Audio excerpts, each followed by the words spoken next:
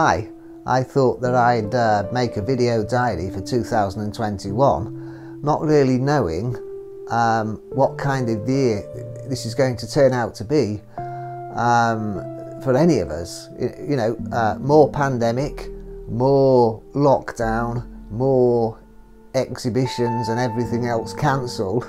So I thought um, I'd just make a diary of what I'm doing here in East Yorkshire and um, thought it might entertain some people.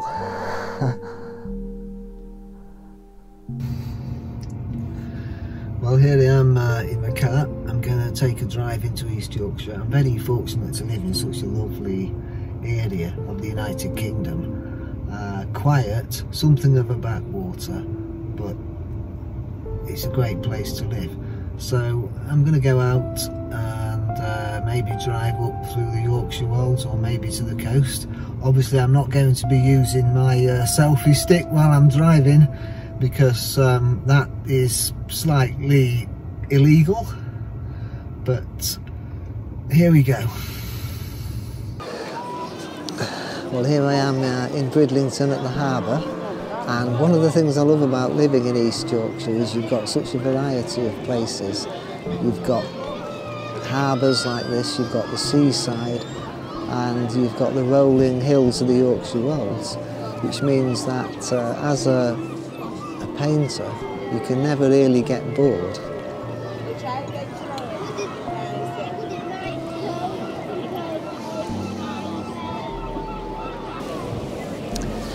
So right here you have a nice harbour scene with the um, boats and the people enjoying the spring sunshine. It's a great subject for a painting. Well as you can see Bridlington is a lively town and over there you've got the hot dogs, the seafood, the ice cream, the donuts and of course the cafes, teas and coffees and so on. And of course it, it wouldn't really be Bridlington without the uh, seagulls providing us with some company.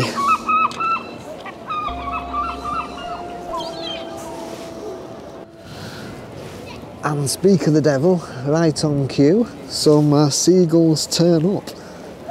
And uh, I think they're expecting me to uh, throw them some fish and chips but I'm not going to.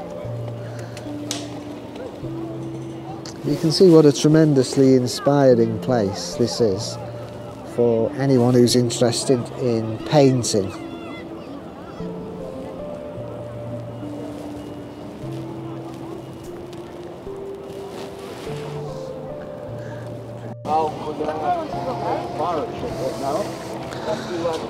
I believe that the richer the environment you live in, the more material there is to inspire you to create.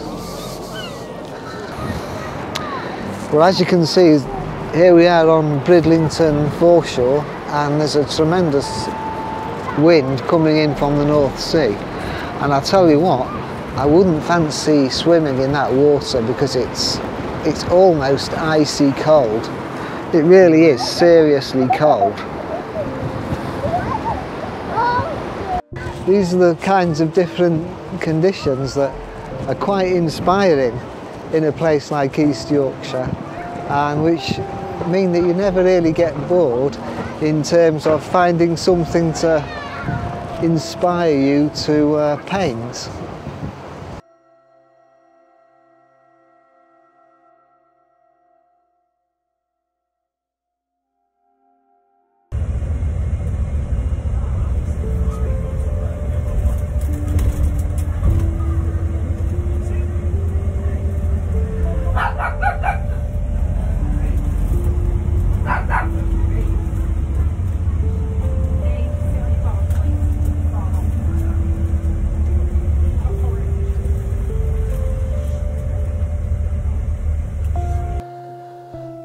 Well, here you can see my uh, painting for the upcoming summer 2021 exhibition Hanseatic Gold in Riga, Latvia.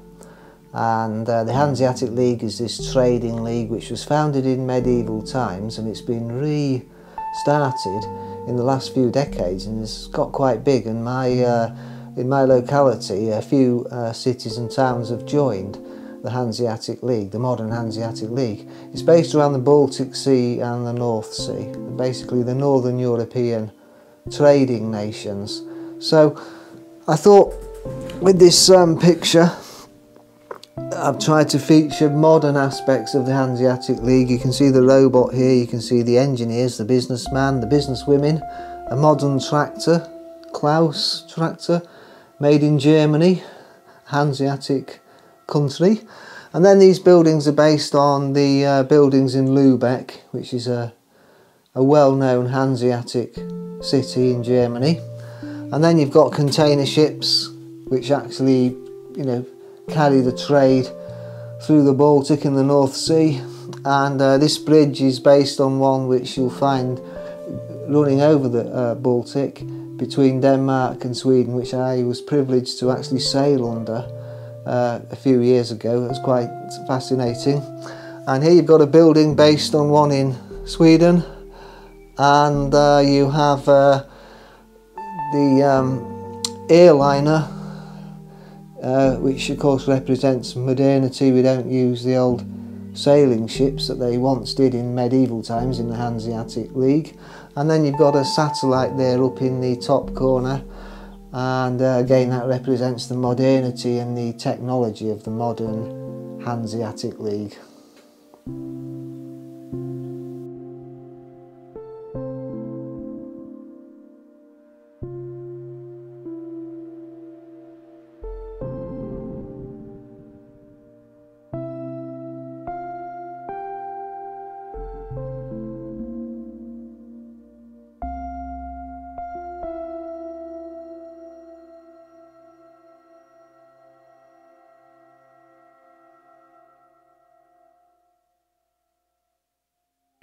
Of course, we also have rolling woodlands and hills in East Yorkshire, which are very pleasant.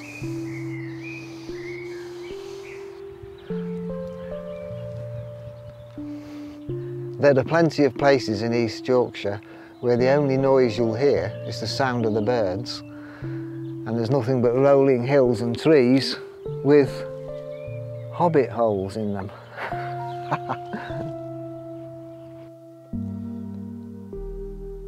Hi, I hope you like this picture. This is a picture I've called um, Spiritual Meadow and uh, I've done it for an upcoming exhibition at Hull Minster in Hull for the uh, upcoming summer. And uh, as you can see uh, the picture shows a butterfly and some daisies, a nice meadow, wood in the background, a crucifix, nice blue sky. So it's trying to evoke a lovely spiritual meadow. The uh, title of the exhibition is The Wild and the Natural, so I thought this would be a nice little thing to put in and uh, you know give people something to look at when they visit the Minster in the summer. It is a very beautiful building and uh, I'm very proud to see one of my um, pictures hanging in this uh, wonderful and historic building.